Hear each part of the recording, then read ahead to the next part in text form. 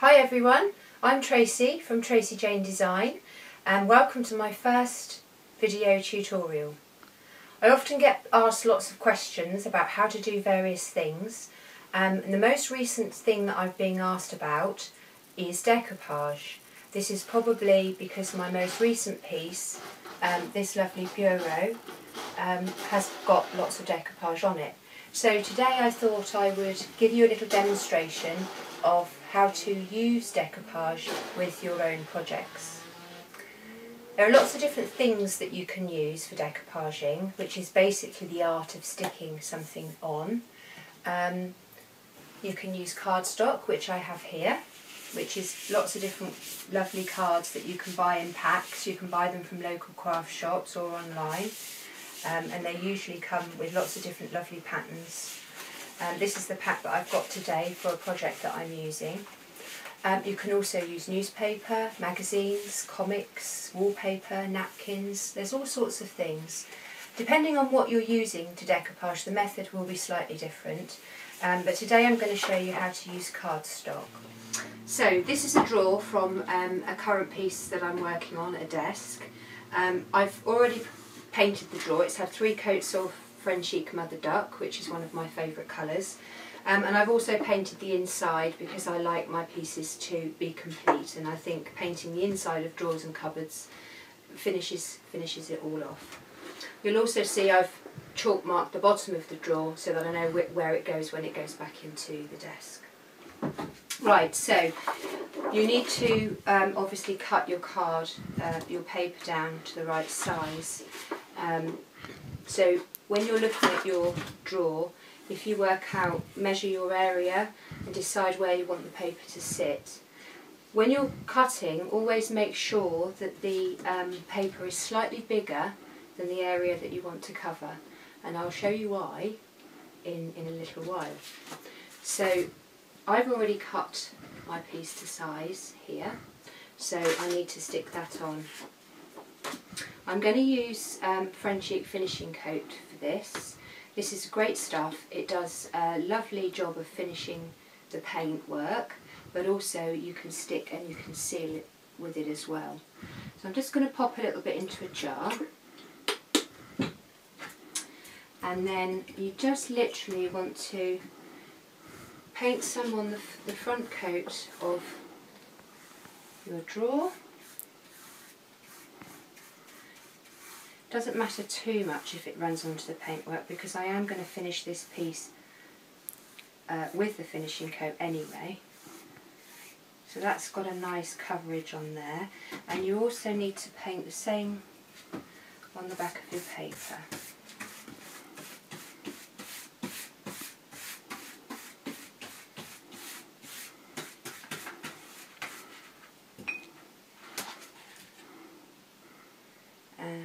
Just remember, remind yourself of which way is up on your paper. Okay. So I'm just going to pop this on. I'll show you the camera uh, the camera in a minute, but I just need to make sure it's all lined up. Like I said, you've cut your paper a little bit bigger than the area that you want to cover, and there's a reason for that, and I'll, I'll explain that in a minute. So when the um, paper is positioned where you want it, you need to just make sure you press it down nice and firm and make sure that it's stuck all the way around. We don't want it coming off.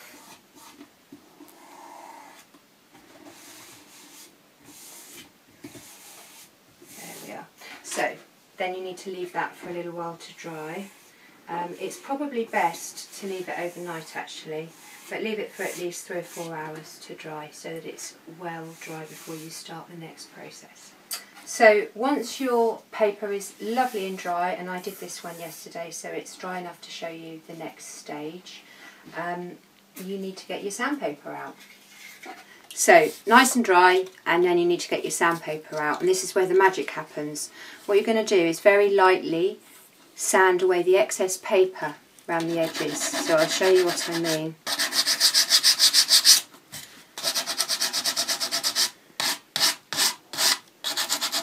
So as you work along the edge, you're going to be blending the paper in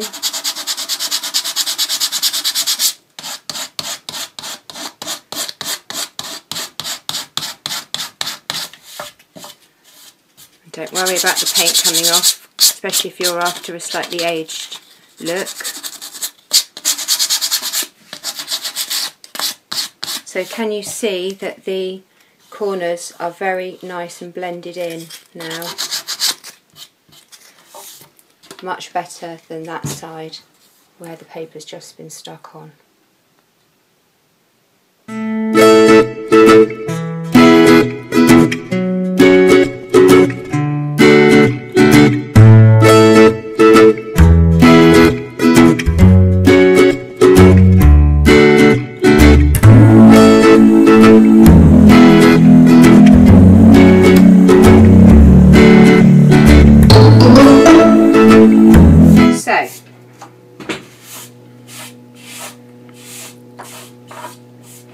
Hopefully you can see how great, great that looks.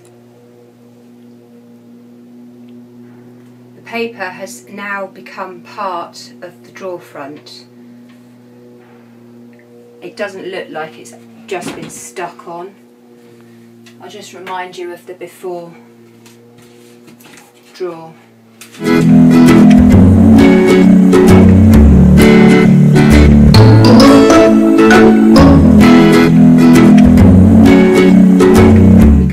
Take this a stage further if you want to. Um, you can use your sandpaper to distress the, the front of the paper so it actually looks aged. I'll show you what I mean.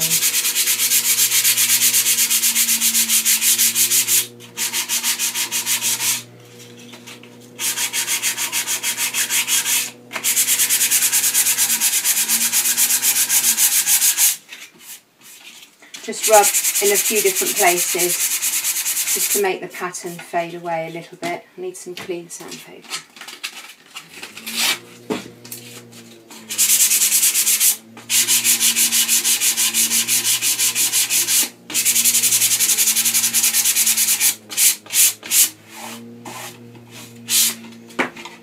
So now it looks like it's worn and it's been there a long time and not stuck on today. So I've finished sanding um, and I've just given the edges of the drawer um, a little bit of distressing because I want um, to achieve an aged look. The final thing to do is to seal it all, um, stop the paper getting marked, make it washable and to protect it so that it looks good for years to come. So back to the finishing coat. If you remember I poured some finishing coat, Frenchic finishing coat into a jar and you're literally just going to to coat that on. And I'm going to go right over the paintwork this time because I want to finish that off as well. But it's best to go in two directions with this. So, I hope you've enjoyed that little tutorial on decoupage and hopefully it's given you some inspiration um, for your own projects. If you would like to um, learn more about this process, I have got a workshop running on Tuesday the 20th of September at 10 o'clock. It's in Bournemouth, so if you're local and you'd like to uh, book a place, then have a look at the website link below um, and you'll find information on all my workshops um, and all my work. And it's been lovely doing this and thank you to my son and his girlfriend who have helped with the filming and hopefully we'll be doing a lot more of these. So thanks for watching guys and catch you soon.